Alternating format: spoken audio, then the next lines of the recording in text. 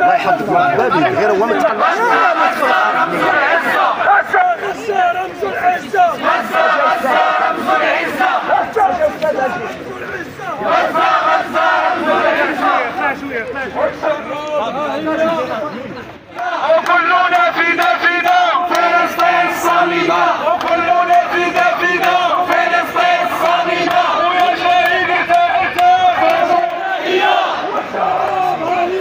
والشعوب ها هي الأرض ما فينا هي. الأرض ما فينا هي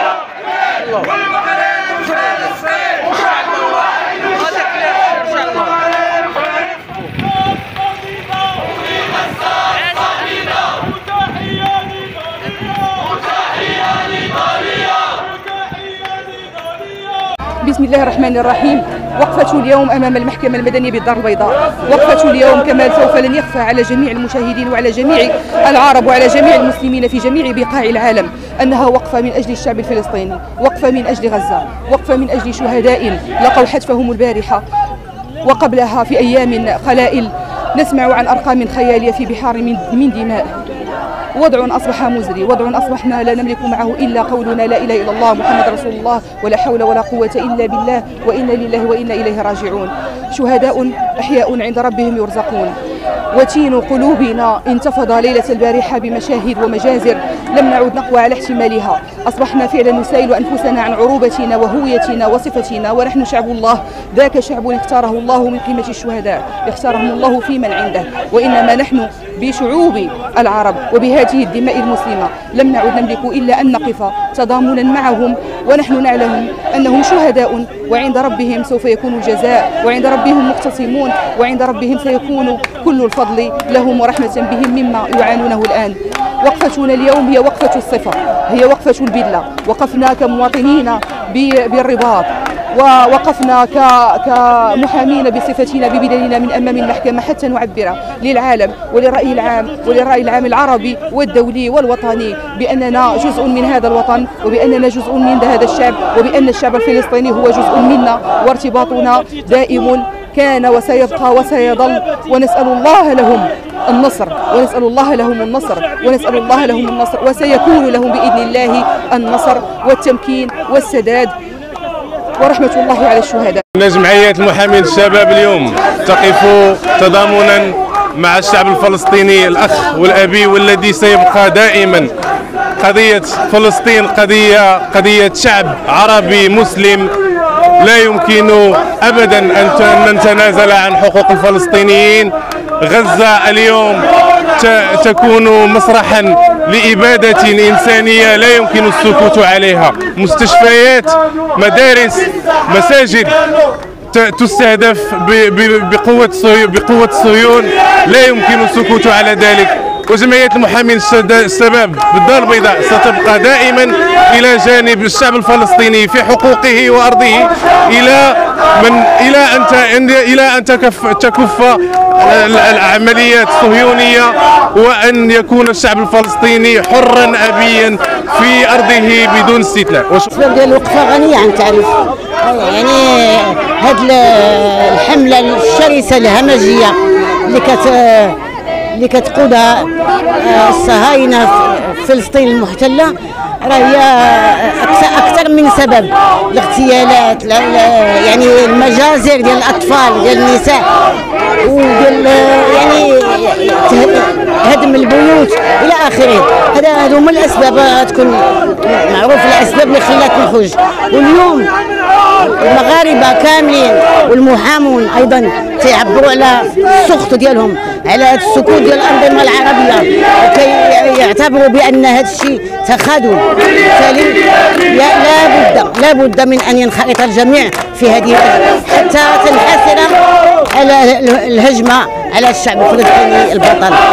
هذه الوقفة التي دعت إليها مشكورة هي جمعية المحامون شباب الدار البيضاء. هذه الوقفة التي يشارك فيها السادة المحامون. أولا من أجل التنديد بالهمجات بالهجمات التي يقوم بها الصهاينة في مواجهة إخواننا في, في, في فلسطين في غزة. الاعتداءات التي يتعرض لها الأشخاص الأبرياء المدنيين الأطفال البارحة يعني تابعنا على مستوى وسائل الإعلام. الضربات الموجهة للمستشفيات وعدد الضحايا والشهداء فهذه الوقفة والوقفات التي يقوم بها جميع الأشخاص الحقوقيين والمنظمات على مستوى العالم للتنديد. لابد من أن يتدخل المجتمع الدولي للتدخل بقوة لكي يتراجع الصهاينة عن هجماتهم ضد آه، إخواننا في فلسطين وفي غزة. نتمنى يعني أن يتحرك المجتمع الدولي الدول المنظمات الحقوقية الهيئات من أجل آه، أن يتراجع الصهاينة عن هذه عن هذه الهجمات وعن هذه الهجمات التي التي أضرت بالإنسانية بصفة عامة. التظاهرة التضامنية مع الشعب الفلسطيني المنظمة من قبل جمعية محامين الشباب بالدار البيضاء آه، ليبلغ رسائل شتى إلى المنتظم الدولي آه، مفادها أن الجرائم التي يرتكبها الكيان الصهيوني الغاصب للأرض المنتهك للحقوق وللحريات للشعب الفلسطيني آه، مجرمة ومحرمة قانونيا ودوليا. ينبغي على المنتظم الدولي أن يتحمل مسؤوليته في اتجاه إيقاع العقاب والجزاء على هذا الكيان المجرم الذي آه، لم يرتد له طرفه في رمي العزل المدنيين والجرحى من الأطفال والنساء بالقنابل المجرمة دوليا وبالمتفجرات الفسفورية. فهذه رسالة أولى. أما الثانية فإلى السلطات المغربية لنقول لهم كفى التطبيع مع هذا الكيان الذي يرتكب أفعال إجرامية ضد البشر ضد الشجر ضد الحجر. نقول له بأن التطبيع للأسف المغرب أخذ آه، مناحي عديدة على المستوى العسكري والأمني والاقتصادي والثقافي. وهذا لا ينبغي كيف يعقل أن نضع أيدينا في يد من يقتل أطفالنا من يقتل أمتنا من يقتل نساءنا من يقتل العزل المدنيين. فالأوساط الدولية والمواثيق الدولية تجرم هذه الأفعال المرتكبة إلى غاية الآن. في اليوم الثاني عشر من هذه الحرب آه، الشعواء وهذه الحرب الظالمة على الفلسطينيين وعلى المقاومين. آه، وقعت عشرات آه، الآلاف من الضحايا من جرحى ومن شهداء ملايين أو مئات الآلاف من النازحين.